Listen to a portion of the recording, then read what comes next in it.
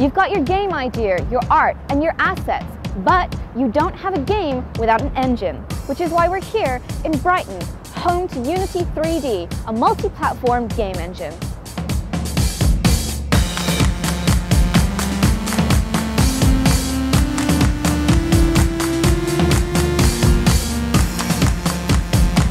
I'm Kim. Hi, I'm Will. Welcome to Unity. Thank you. Um, so this is our gaming area, as you can see.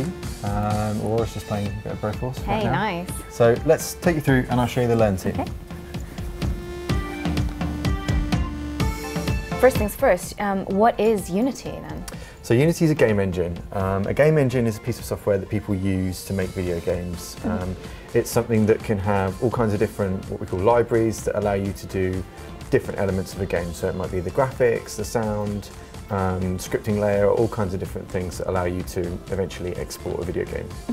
Um, in the example of something like Angry Birds, you might think, okay, well, um, what's the mechanic there? It's firing something. So we know that firing something's something that people like to do. Um, knocking things down is interesting, so we'll, we'll plan, you know, whether this feels fun. So people would prototype an idea. Okay, so how can I see Unity in action? Is there something we can create today? Yeah, sure. So I think the best way to show you how it works is to give you an example of something that you're familiar with, so like a game mechanic that you've mm-hmm. seen before. Okay. So what do you think? Well, you mentioned Angry Birds earlier, so why don't we take that? Yeah, we could do that.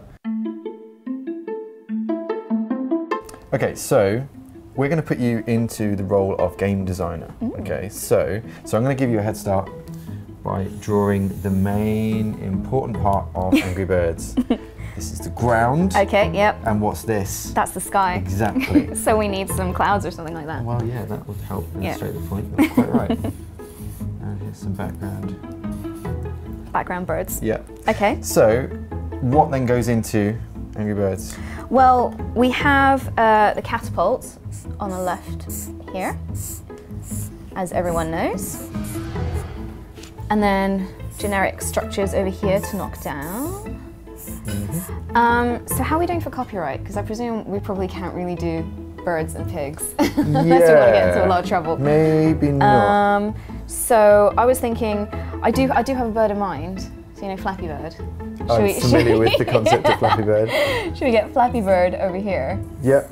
I can't quite draw him. yeah, Never a truer word said. that's great. And what are you going to destroy Flappy Bird with? Um, I don't know, something like the moon. The The moon. moon, yeah, Or, yeah, some kind of meteorite, or a meteorite- device. Yeah, so that's my moon. Yep.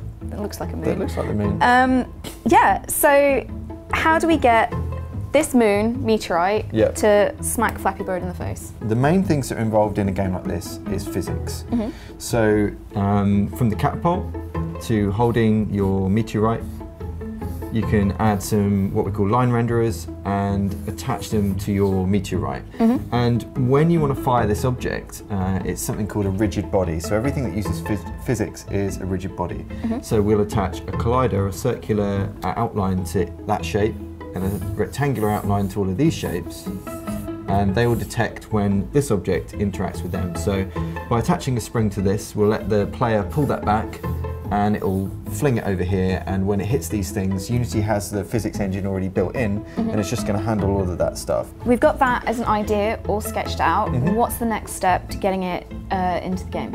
Um, so what we'd do is we'd go over to Pete over here, who is a real artist, Hiya. Hello, I'm a real artist. and he's going to help us take this sketch and he'll art it in Photoshop and then we'll get the real sprites and put them into Unity and try out making that game. Fantastic. Well, let's take a look at that.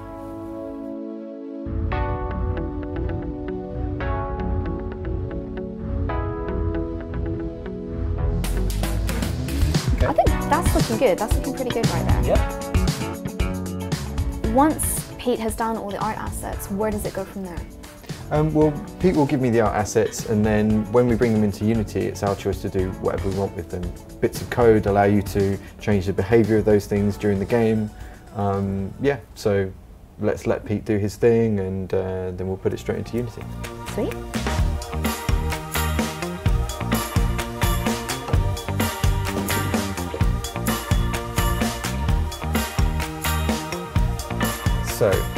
Artwork, as Pete's provided, is all here. Gotcha. So then what we can do is drag and drop our elements into the game to make it work. So the first thing is the sky, so I'll drag and drop that into the scene. Then what we're going to do is to drag our floor, so I can drag the floor tile in. Um, but to save time, what I've done is to make a floor made up of many of those. Now, this whole area, so if I show you this area here, is our entire play space. Gotcha. So we want our catapult over on the left Yep. and our enemy on the right. Okay, so now we've got the circle collider on there, we'll be able to detect when that asteroid is colliding with other things. It's also going to make it collide automatically with other objects with colliders. So I'm not very good at playing this game. Why don't, why don't you have a go? Okay, here we go. Bang.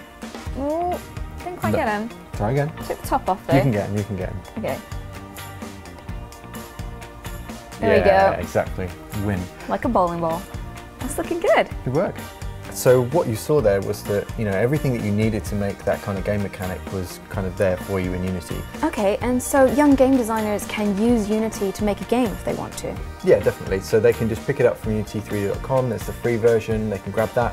They can go to unity3d.com slash learn, uh, follow all of our tutorials. We've got all kinds of different stuff that will help you learn all the different kind of bits of the engine so that whatever you kind of think of, you can go forward and then create yourself. Fantastic. I can't wait to see what they make. Cool, you too.